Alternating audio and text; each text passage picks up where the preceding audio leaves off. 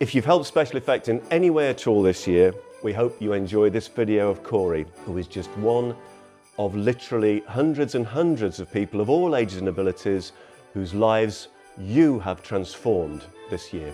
On behalf of all of us at SpecialEffect, Merry, Christmas! That was not bad. Is that okay? Yeah, thank you very much. Thank you very much. Thank you. Thank you.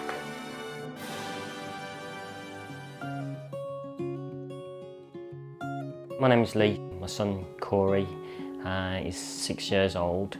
He's hemiplegic down the left hand side as a result of a prenatal stroke. And he used to watch his brother playing games. We would give him a controller that wasn't connected just so he felt involved. And I did ask a few people when I was out uh, about if they knew of any any controllers that I could buy for him um, so that he could play himself. Um, and no one, no one seemed to know anything about them.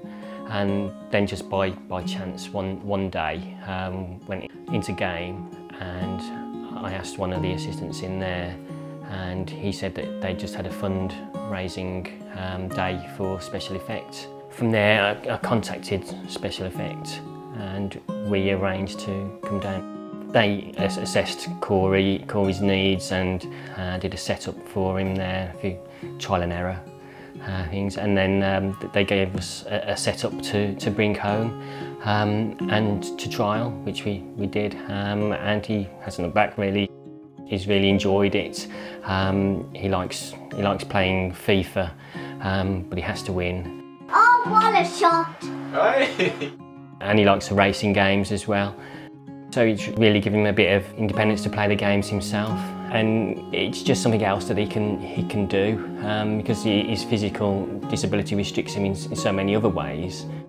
It's nice that he can actually ha have the enjoyment of playing the games. Seeing him so happy, it just makes you feel good.